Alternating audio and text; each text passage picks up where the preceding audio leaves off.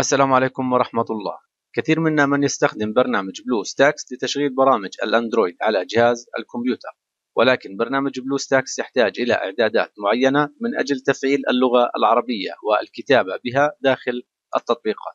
وبهذا الفيديو سوف نشرح الخطوات اللازمة لتفعيل اللغة العربية داخل برنامج BlueStacks والآن سوف نشرح كيفية حل مشكلة الكتابة في اللغة العربية على برنامج BlueStacks لاحظ هنا عند الذهاب إلى أحد التطبيقات ومحاولة الكتابة باللغة العربية فإن التطبيق لا يقبل إلا فقط لغة إنجليزية. ولحل هذه المشكلة نذهب إلى خيار Blue Stacks Setting.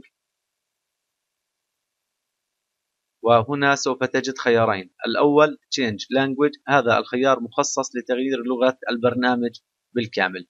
نحن هنا سنختار خيار Change Keyboard Setting. ومن هنا نذهب إلى خيار Keyboard and Input Method. ومن هنا نختار Android Keyboard ونضغط على هذا الخيار. ومن هذه الإعدادات نقوم بإزالة التحديد عن خيار Use System Language. وتقوم هنا باختيار اللغة العربية Arabic. نقوم بتحديد خيار اللغة العربية.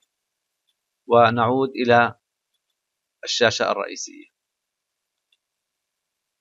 والآن سنذهب إلى أحد التطبيقات ونحاول الكتابة باستخدام اللغة العربية. سنذهب إلى تطبيق الفيسبوك للتجربة عليه.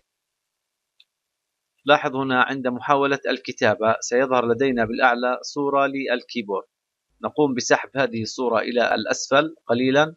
ستجد خيار هنا Choose Input Method. تضغط على هذا الخيار ومن هنا نختار خيار Off والآن بمجرد أن نضع المؤشر من أجل الكتابة سيظهر لدينا ال keyboard وباللغة الإنجليزية ولتحويله للغة العربية تماما كما نفعل على الجوال. نضغط هنا على ال space فيظهر لدينا هنا تحويل إلى اللغة العربية. نختار من هنا اللغة العربية. والآن بإمكانك الكتابة باستخدام اللغة العربية كما تريد.